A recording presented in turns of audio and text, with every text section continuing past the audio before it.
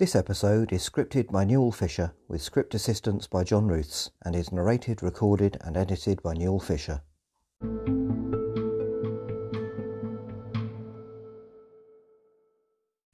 Hello, and welcome to the Watership Down podcast, episode 71, in which we will be going through section 12 of the 1978 film, Captain Holly.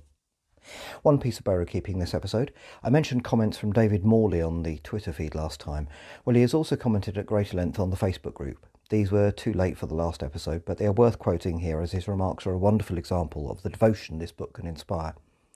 He wrote, quote, the book had a significant impact on my personal literary development, and I wrote a short study of it for the Royal Society of Literature when I was elected as a Fellow in 2019. As a teenager, I walked the entirety of the rabbit's journey, Sandleford to the Test, twice in different seasons during the late 1970s, while camping on the down near the beech hanger. What might be of interest is that I kept a photographic record of these site visits, and my sister went to the Isle of Man to interview Richard Adams at some length. She took along these written and visual records to show the author, who kindly signed the photo albums in which they were stored. I also became very interested by Angela Morley's, no relation, score to the 1978 film, Buying the LP. I was most interested in Angela Morley's personal history with regard to the making of this score, and which was explored in Sarah Woolley's Radio 4 play 1977. Although it is no longer available, this listing is here. He gives the link and adds, quote, I have been entranced by the seriousness of the endeavour of this podcast since I discovered it. To repeat something others have commented on, the sense of community, of belonging this podcast engenders is highly appreciated. I love the depth in which the text and film are explored, and I very much admire that you have also performed site visits. Thank you very much for the hard work that has gone into this venture. Keep up the excellent work. End quote. I'm very grateful for those remarks, David, and always amazed and grateful for this sense of community which makes episodes like the recent one on religion, etc., possible. At times, it is also all that has allowed this podcast to stay weekly, mainly down to John Ruth. David goes on to give a further link about the radio play written about the Angela Morley's writing of the score to Watership Down. I hope to hear this one day. This is, all this is in the thread welcoming him to the group, though the later comments can be difficult to see on some devices in true Facebook fashion. Welcome to the Owsla, David. So now, on with the film. A bit of a heavy one this week.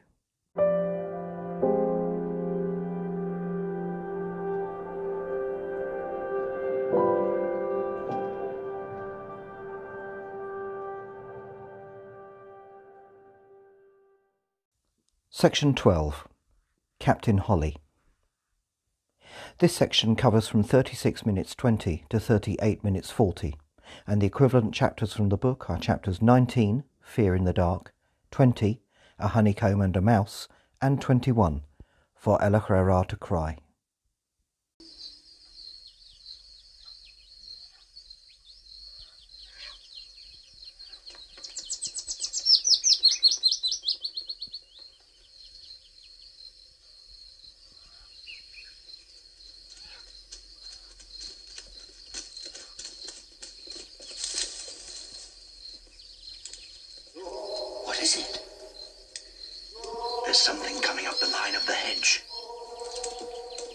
We find ourselves in the lane leading away from Nuthanger Farm, presumably later that morning, following Hazel and Pipkin's farm expedition earlier. The camera pans right to show the lone tree on Watership Down in the distance. Two birds noisily fly across the lane, and then the view pans left and zooms in on the ditch on the eastern side of the lane. This ditch is where the events of the next two sections of the film will take place. In the book, the equivalent ditch is the one at the foot of Watership Down itself that the rabbits use for shelter when going for silflay after they first arrive at the down. The same ditch, of course, in which Hazel recovers later from his gunshot wound and in which he has one of my favourite conversations in the book, in chapter 28, at the foot of the hill.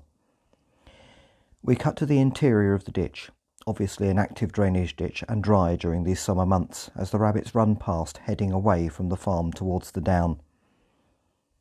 But then Bigwig, bringing up the rear, stops and turns back, listening. He has heard something coming up the line of the hedge.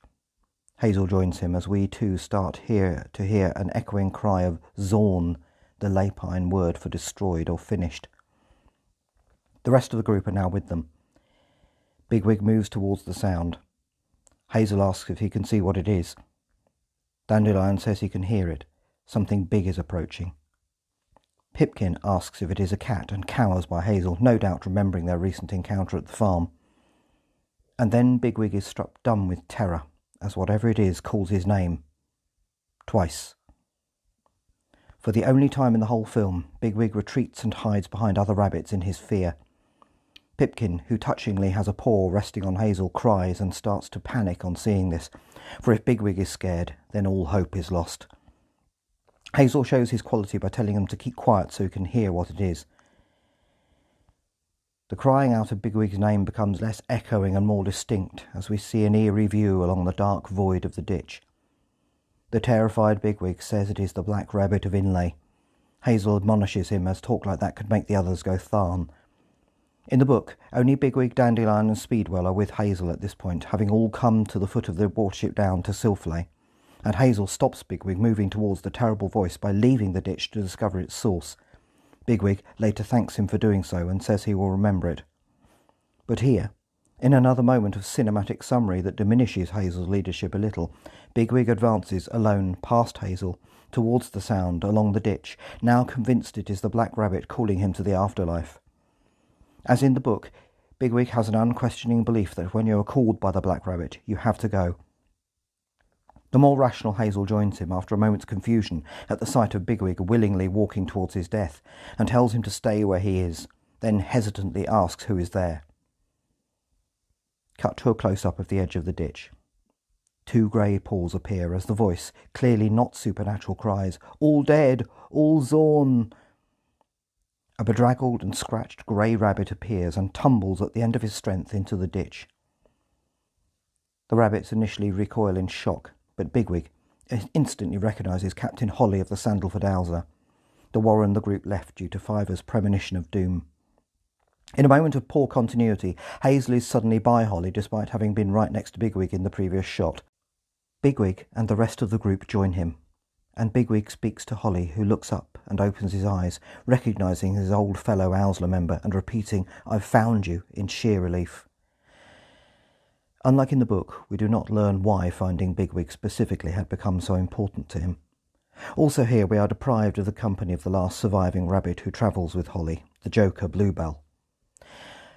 As far as we can tell, this is a Holly who has travelled on his own to Watership Down. Soon we will learn more about that impossible journey, but first Fiver comments on a wound on his shoulder, though this looks like just one of many. Holly says he remembers Fiver, how he was the one who saw it coming. In the book, this moment happens in calmer circumstances, halfway up the down after Holly has started to recover. But the calmer, extended account of what happened to Sandleford will be dealt with in an altogether different way here. In the book, Holly gives his account of what he saw from outside the warren, then Bluebell takes over with the visceral horror of what was going on underground and how he managed to escape. We hear Dandelion ask what happened, and, as the camera pans up, we are returned to the visionary style with which we saw Fiver's terrible prediction of fields covered with blood. We see trees tumbling in a spiral as Holly says the warren was destroyed. There is a rumbling sound building. We ask, hear Silver ask how. In the background of the tumbling trees, we can see a circle. That now becomes clearer. It is a view of the entrance of a burrow from underground. And then, as eerie music begins, we see earth falling into the burrow, covering the view. Holly's voice said men came and filled in the burrows. We see another hole being filled, and another. Holly says they couldn't get out. There was a strange sound, a hissing.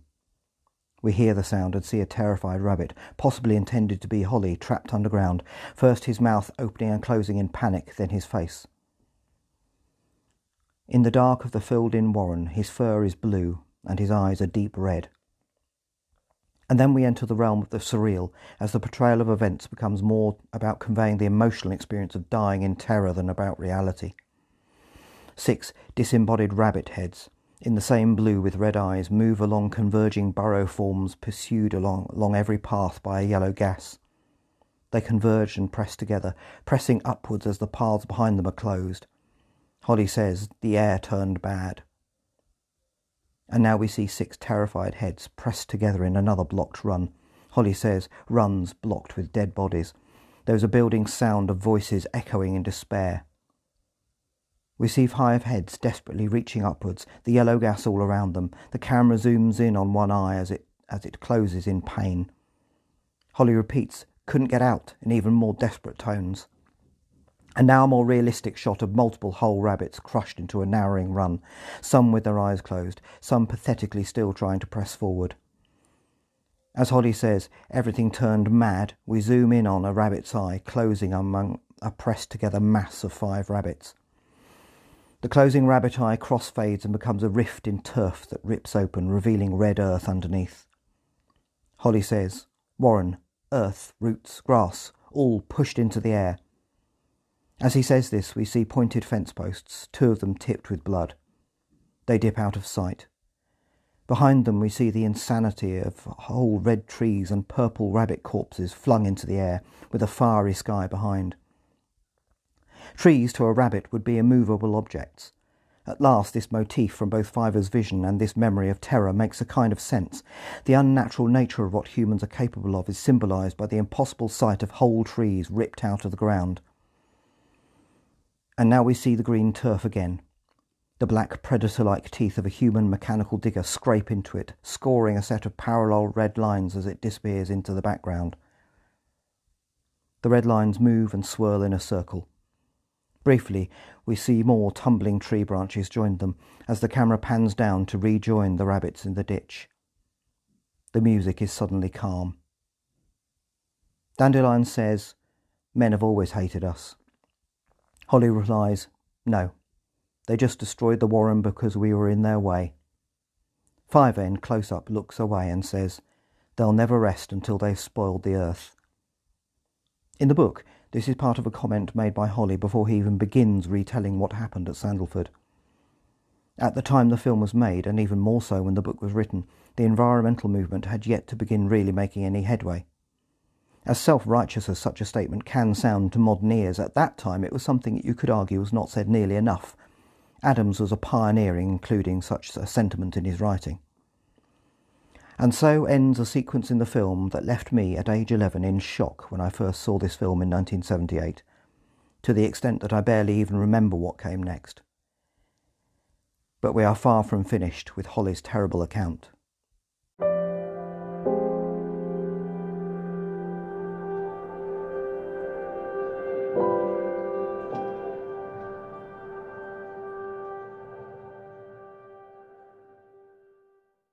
Comparison with the book. In the book, the events we have just seen covered in 2 minutes and 20 seconds are covered over the course of three chapters. In chapter 19, Fear in the Dark, comes the terrifying discovery of Holly at the foot of the down during its early construction. Then in chapter 20, A Honeycomb and a Mouse, we learn of Holly's recovery from his journey, in amongst the other business of building the large barrow called the Honeycomb, and Hazel having strange conversations with mice. Holly and Bluebell finally tell the full terrible story of what happened to Sandleford Warren in chapter 21, for El-ahrairah to cry. Holly beginning with what he saw from outside, Bluebell continuing with what he went through as he escaped from underground. We also hear about their difficult journey to the foot of Watership Down, during which one rabbit, Toadflax, the Owsla member who bullied Fiver away from a cowslip in, in chapter 1, died from his injuries, and another, Pimpernel, was killed by the rabbits of the Warren of the Snares becoming the only rabbit to be directly killed by other rabbits in the whole book. All Holly can think of after that is finding Thlayli, or Bigwig, to tell him he was right. Holly's ear is ripped by the Warren of the Snares rabbits, and he arrives at the foot of Watership Down delirious, helped onward only by the good humour of Bluebell. The lone journey of the Holly of the 1978 film is very different, not to say somewhat mysterious. But we will deal with that as well as our first crime against the original book, as explained in episodes 14 and 54, next time. Let the jury be upstanding.